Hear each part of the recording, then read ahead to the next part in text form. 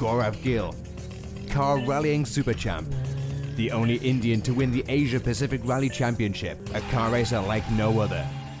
He's raring to take on the world's best P1 powerboat pilots on their turf but in his backyard. Raw on the shore with the Indian share deal Gaurav Gill.